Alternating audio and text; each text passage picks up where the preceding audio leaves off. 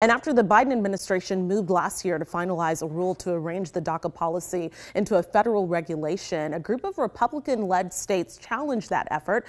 So, for some context here, DACA prevents the deportation of hundreds of thousands of immigrants brought to the U.S. as children known as Dreamers. And the ruling is expected to be appealed to the U.S. Supreme Court. To give us some insight, we invited immigration lawyer Kate Lincoln Goldfinch with us today. Thank you so much for being here. Thanks for having me. So, let's dig into this ruling. What exactly does the ruling mean for Dreamers right now? the status quo remains. So this has been this program has been in litigation now for years. So what we have in place is what we have had in place, meaning the the recipients who already have DACA can continue to renew and keep their status.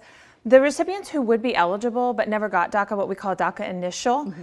they will continue to not be adjudicated. So while you can apply, you can't get an answer. But for the DACA recipients who have DACA, it's really important that they don't allow their status to lapse or expire because then they might get kicked into the initial mm. group. So it's really important to maintain status while this is making its way up through the courts. Okay, and do we know why U.S. District Judge Andrew Hanen declared the revised version of DACA illegal? Yeah, it was kind of a surprising ruling because the Biden administration cured the problem, which was that Obama didn't follow the Administrative Procedures Act. But when the case got back down to Hanen, he said, you know what, now that you've you know followed the act and done the notice and comment, I still don't like a few things about the program. I don't like it's um, that it's not it's impermanent, mm-hmm. um, and I don't like that the DACA recipients can travel uh, for reasons like education, employment, or humanitarian reasons, or that they might get public benefits. So it was a surprising, very disappointing ruling. Uh, but you know, he says it's still illegal, and now we're in the same status quo that we've been in.